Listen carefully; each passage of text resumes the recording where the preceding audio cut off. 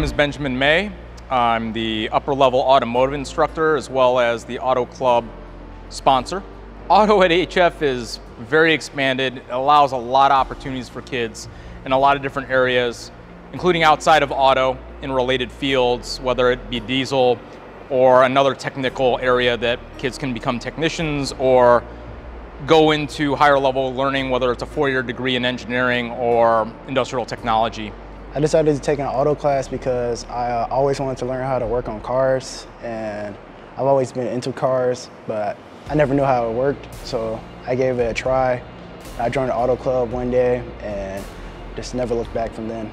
I walked into the room and I was just, I was like shocked. I thought it was so cool. And then the first day I came in here, we immediately learned how to change oil and how to switch vents in a car. And I was just like, this is something I want to do. They have four years of auto. They can take multiple classes each year. Uh, there's dual credit opportunities as well as competitions that allow kids to get scholarships uh, to the educational um, program they would, they would like to go to after high school. I'm Mike Whitfer and I'm uh, the class of 2020 from Homewood Flossmoor and I'm currently at Southern Illinois University Carbondale. I believe these classes are really important for high school students because a lot in the industry nowadays places want experience, like different companies and organizations want experience. And when you have that high school experience, it can help you get your foot in the door and build that resume real early.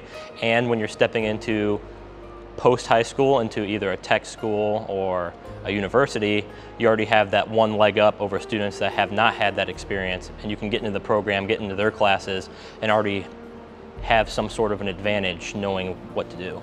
To me, this class doesn't feel like a class. It feels more like a place where I come have fun and learn. The thing about auto is something that's really hands-on that you, if you can't figure out a problem, there's people that can help you, but as well, it's always fun to try to fix it yourself. Automotive unlocks a part of the student's brain in problem solving.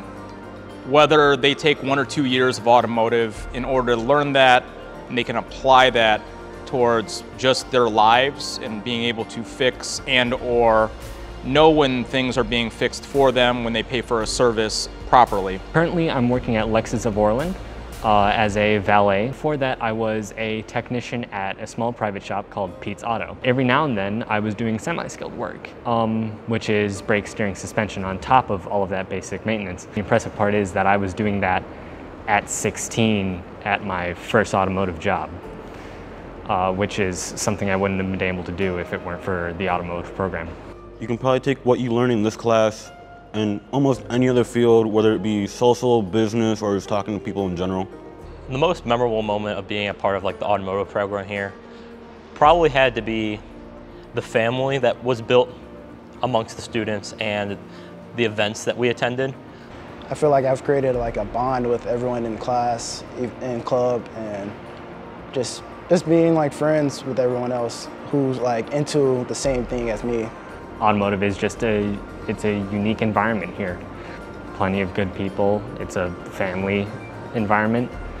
Uh, we all get along very well.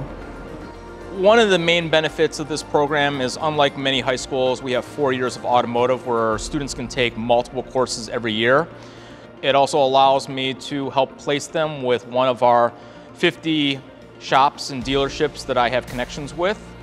Uh, that allows kids to gain that experience in the field while they're learning that information at a very young age.